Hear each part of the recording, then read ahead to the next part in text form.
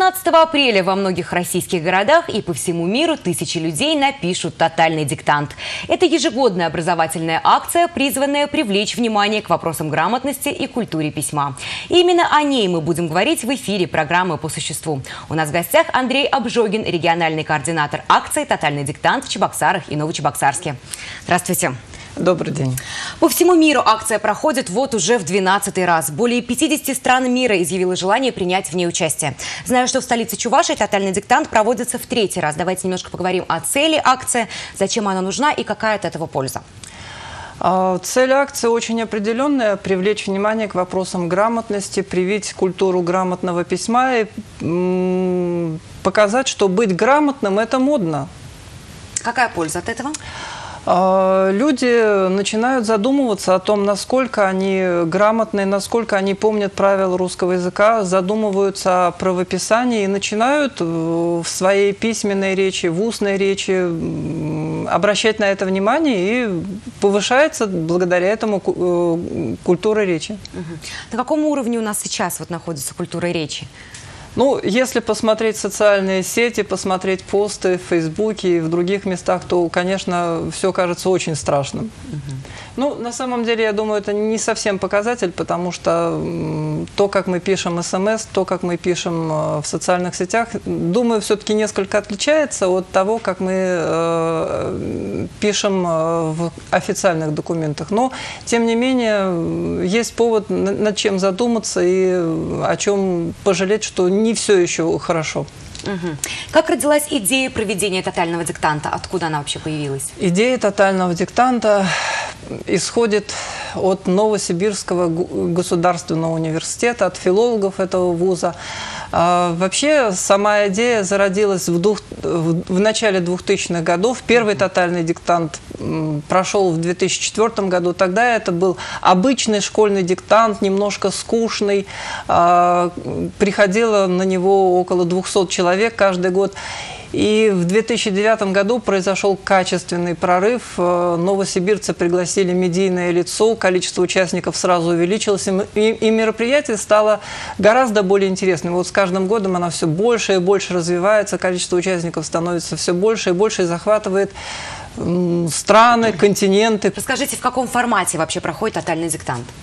Это добровольная акция, похожая на флешмоб, когда множество незнакомых друг с другом людей собираются в одном месте, пишут диктант э, и расходятся и все.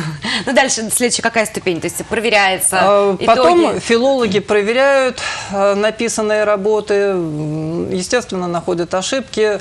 А, тем, кто согласен получить оценку, выставляют оценку, загружаем результаты в базу данных на сайт totaldict.ru. Написавшие могут узнать свою оценку там. И есть еще возможность прийти лично, посмотреть на свою работу, забрать ее себе на память, пообщаться с филологом, узнать, в чем именно была ошибка, как нужно было написать правильно и получить на память сертификат участника тотального диктанта. Ну а отличники а, получают особый сертификат и небольшой памятный подарок. Угу. Какие тексты выбираются для тотального диктанта и какой будет в этом году? А, в самом начале акции выбирались тексты русских классиков Гоголя. Затем а, организаторы перешли э, к текстам, которые пишут современные писатели. Мы э, в первый раз в Чебоксарах, когда подключились к акции, вместе со всей Россией, со всем миром писали по Дине Рубиной.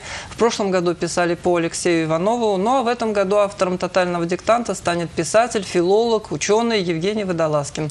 Э, по предварительной информации, текст будет посвящен жизни предреволюционного Петербурга. Ну и есть э, некоторые детали, которые указывают на то, что мы вспомним, как люди жили в то время, вспомним реалии того быта того времени. Ну, Текст на самом деле знают только организаторы и Евгений Водолазкин. Мы узнаем текст, как и все, 18 апреля. А вот как вы сами считаете, какой текст лучше писать? Там отрывок из произведения какого-то известного классика или современного? А, вопрос интересный.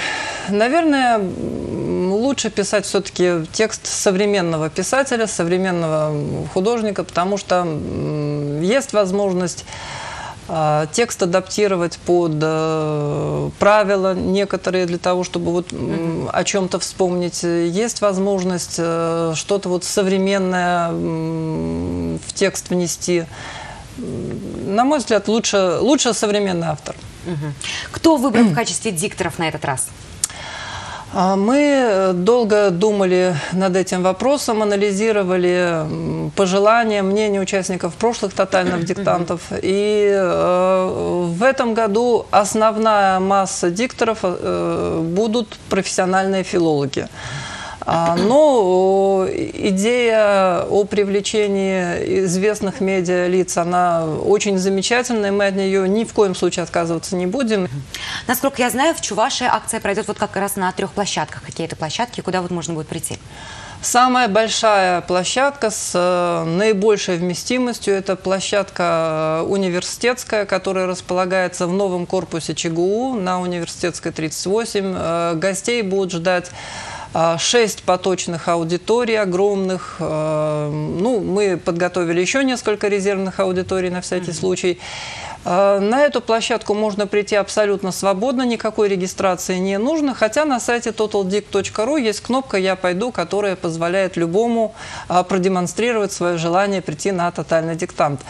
А вторая площадка в Чебоксарах будет располагаться в Национальной библиотеке. Она камерная, небольшая, рассчитана на 30 человек. И на данный момент регистрация на эту площадку завершена. И третья площадка традиционно находится в Новочебоксарске, в шестой гимназии. На эту площадку тоже нужна предварительная регистрация. Напомню, что она проходит на сайте totaldict.ru, не по телефону, не лично, только на сайте. А, площадка достаточно вместимая, ну и я думаю, у новочебоксарцев проблем с тем, чтобы прийти на тотальный диктант. Даже если у них не получится зарегистрироваться по каким-то причинам, а в субботу возникнет непреодолимое спонтанное желание прийти на тотальный диктант, проблем быть не должно. То есть я правильно понимаю, что прийти на тотальный диктант и написать его может абсолютно любой желающий? Совершенно верно. Никаких ограничений по возрасту, полу, по каким-то другим э, моментам нет. Прийти может писать и журналист, и министр, и учитель, и ученик, и студент, абсолютно кто угодно. Самое главное желание, что участник должен принять, э, прийти добровольно. Вот, вот это, пожалуй, единственный критерий отбора – добровольность. Может быть, немножко обратимся к статистике. Сколько вообще человек до этого принимало участие? А, в первый год, когда к нам приезжали жители районов нашей республики, э, в диктанте приняло участие более 800 человек. А в прошлом году, видимо, такой возможности не было, и количество участников было более 500 человек. Но мы знали абсолютно точно, что это э, именно те, кому действительно интересно и кто действительно сам хочет принять участие в этом мероприятии. В Новочебоксарске стабильно и в прошлом, и в позапрошлом году принимало участие в мероприятии около 50 человек. Ну, мы надеемся, что а в этом году желающих будет гораздо больше. И мы с радостью всех ждем на тотальном диктанте. Уже с 20 февраля на факультете русской и чувашской филологии и журналистики ЧГУ имени Ульянова проходят занятия «Русский по пятницам». На этих занятиях все желающие могут абсолютно бесплатно подготовиться к тотальному диктанту. Много ли желающих ходит на эти курсы и вообще зачем это нужно? А, в пятницу мы стабильно встречаемся с группой э, желающих э, вспомнить правила русского языка в количестве 30-40 человек. Вот, можно сказать, что сформировалась э, стабильная команда. Люди разных возрастов, от самого маленького возраста до примерно 80-летнего. А занятия нужны для того, чтобы вспомнить правила русского языка, это безусловно, и для того, чтобы э, посмотреть на те э, моменты, которые потом будут э, отражаться в диктанте. Ведь тематика занятий построена таким образом, что повторяются не просто абсолютно любые правила русского языка, а обращается внимание на то, что потом пишущим встретится в тексте диктанта. Ждут ли какие-либо призы самых грамотных?